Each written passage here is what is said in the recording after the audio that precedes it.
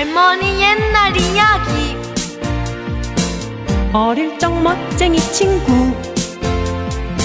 사계절 예쁜 옷 입고 상큼한 꽃 향수 살며시 뿌리지요. 예쁜 옷 이름도 많아. 봄에는 금강이고요. 여름 가을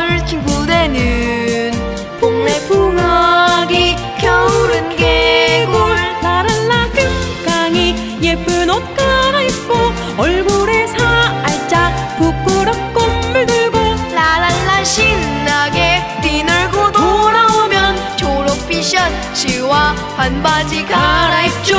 라랄라 주 홍색 낙엽은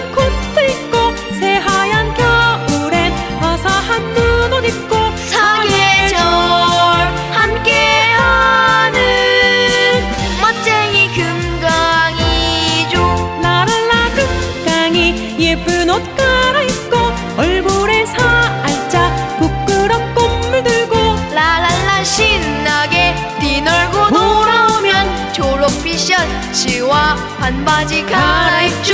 라랄라 주홍색